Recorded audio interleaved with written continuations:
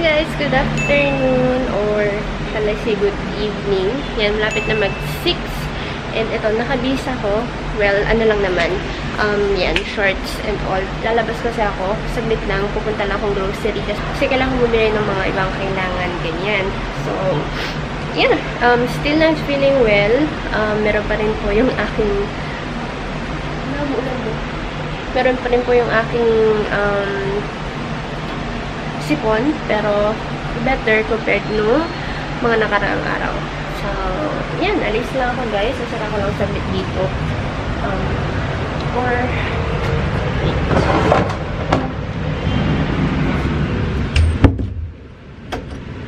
Tapos, ito, sige, kahit yun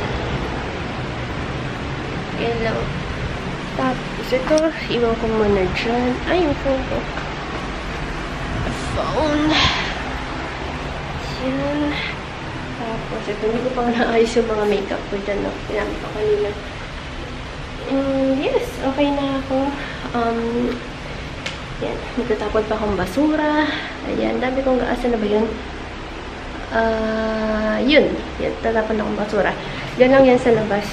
Uh, parang ilang katabi lang ng, halos katabi lang ng room namin. Kaya, okay lang. Okay, sanggalin ko lang. Saksakan. Yun. So, labas muna ako guys and I'll see you later.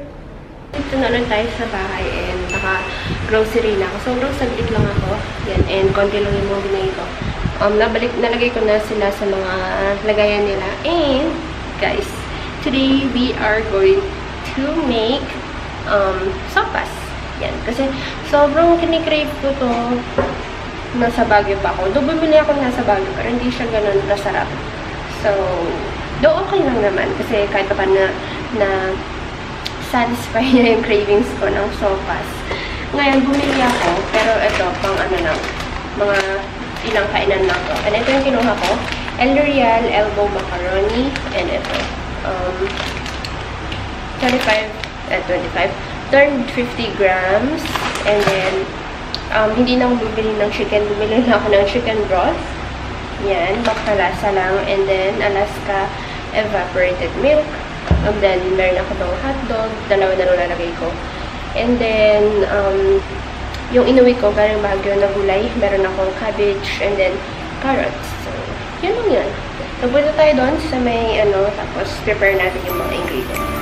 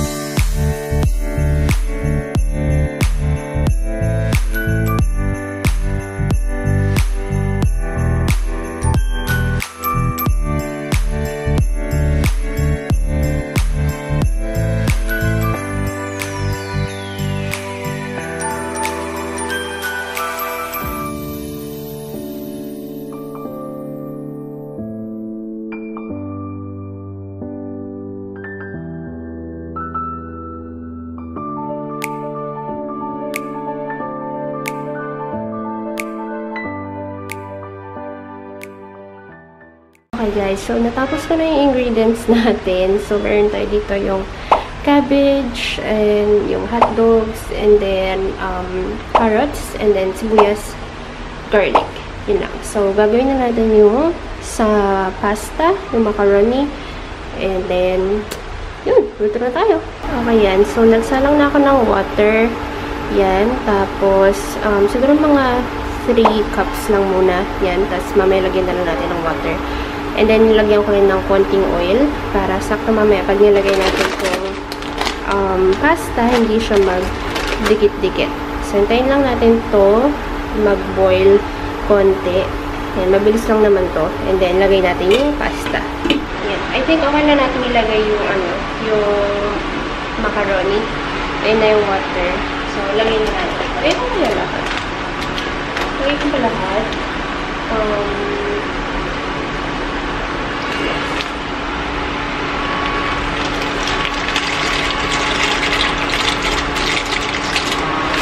Um, yan. Hindi nilagay lahat. May natira pa. May gulay din naman kasi. Tsaka, ako lang naman kakain. So, okay na, okay na yan. Mix lang natin.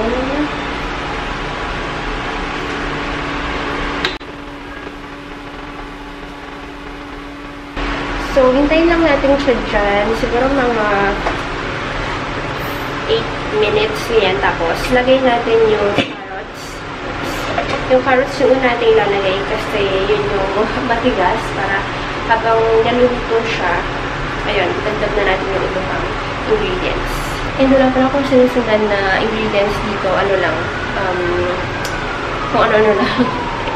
Experiment lang. Pero, um, based sa ano, sa mga natitikman ko naman, madali lang naman siyang gawin eh. Parang lagay-lagay ka lang naman tapos tansya-tansya ng lasa.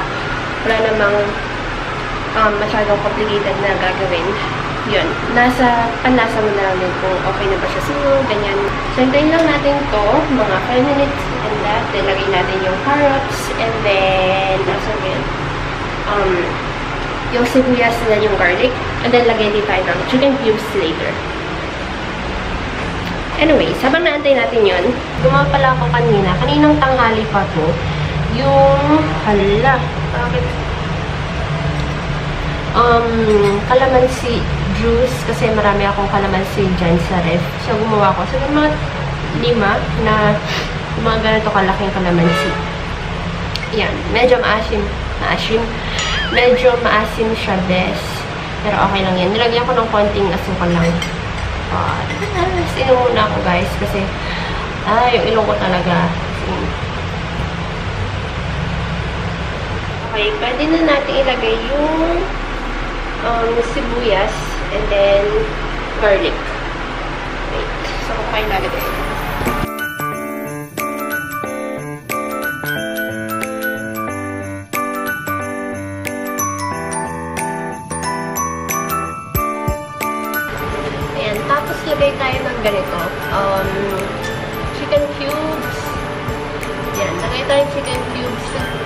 Lalagay lahat.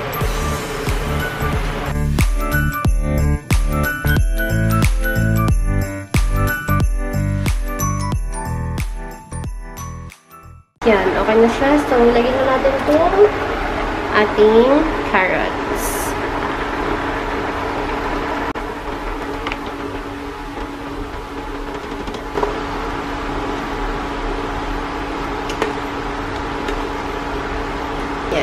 Yan. Lang muna natin siya dyan. Takpan ulit natin. Siguro mga um, 10 minutes siguro. Tapos, yun na. Next na yung hotdog and then cabbage. Sabay na natin hotdog and cabbage. Or you know what? Lagay ko na kayong hotdog.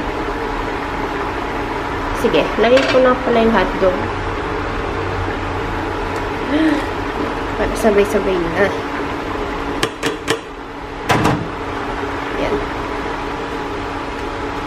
Nagdagan natin to ng water.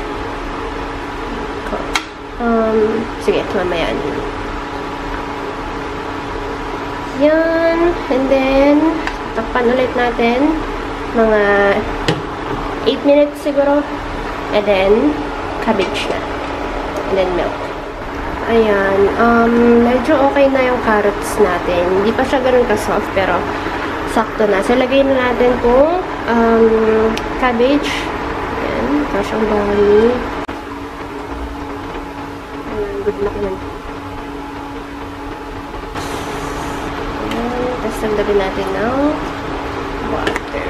Wala, ang dami. Wala nang sabaw. Pero okay lang yan. Mag-ano pa naman tong ano eh, tong cabbage. Nagdagan ko to ng water. And then later, and then last yung ano, milk and then salt. Yan, wala na talaga siyang sabaw. Lagyan natin ng water.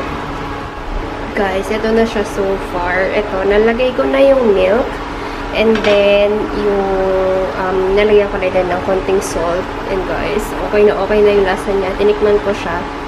Um, yung salt, siguro mga 2 tablespoons or 1 and a half.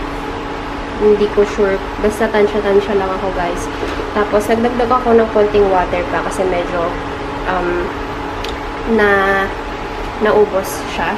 Tapos, ito, yung milk, um, siguro mga half or almost half neto. So, malami to eh. Konti lang naman itong niluto ko. So, medyo hindi ko siya maubos. Ayoko naman sobrang maging creamy na ma, ano, parang nakaumay na. Pero guys, ito na siya so far. And okay na to guys. Pinapaano ko lang konti yung cabbage. And hininaan ko na rin yung apoy. Apoy? Yung, ito, basta hininaan ko na rin siya. Tapos, yan, okay na yan maya maya na. Nah, ano ba yan? Nabubulol na naman ako. Okay na ito maya maya. Tapang ko na konti. And, siguro mga 5 or 10 minutes more. Okay na to guys. And then, dinner na tayo. Yan lang.